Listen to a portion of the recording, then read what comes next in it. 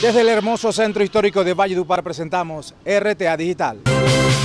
Una pareja de esposos fue asesinada en Bosconia, Cesar. De varios impactos de bala fue asesinada en el municipio de Bosconia una pareja de esposos identificados como John Hader Ospino y Silvenis Gaviria Peinado. Los hechos ocurrieron en la invasión Avenida Brasil. Un joven murió en un accidente de tránsito en la vía Valledupar-Bosconia. El caso es investigado por la Policía de Tránsito para determinar las circunstancias de la muerte del joven que aún no ha sido identificado. El accidente ocurrió en la entrada a la carretera de Pueblo Bello. El Grupo de Prevención y Educación Ciudadana de la Policía en el Departamento del Cesar entregó mercados en la margen derecha del río Guatapurí. Quisimos venir hasta acá a apoyar a la comunidad, entregarles unos pequeños mercados eh, entendiendo la difícil situación que se ha presentado últimamente y aprovechamos para hacer un plan desarme, desarmando tu corazón, eh, es el mensaje que le estamos dando a la ciudadanía.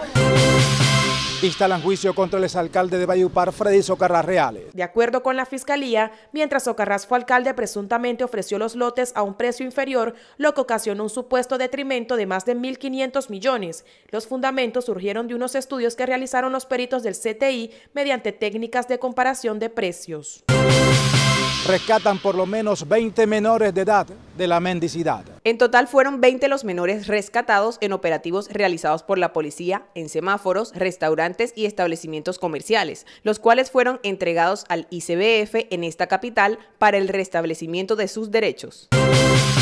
El dólar se trepó a los 5 mil pesos colombianos. En la jornada de hoy, el dólar llegó a su histórico valor de 5 mil pesos colombianos, lo que genera un gran impacto en la economía nacional.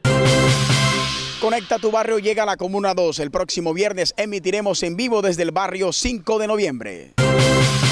Esta noche nuestra cita a las 6 y 30 pm por Canal 12 y plataformas digitales. Somos RTA Noticias, la respuesta.